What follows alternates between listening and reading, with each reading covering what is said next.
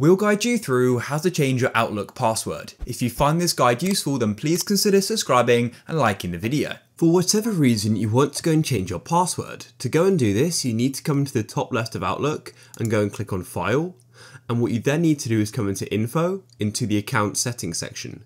And what you want to do is where it says Access this account on the web, go and click here.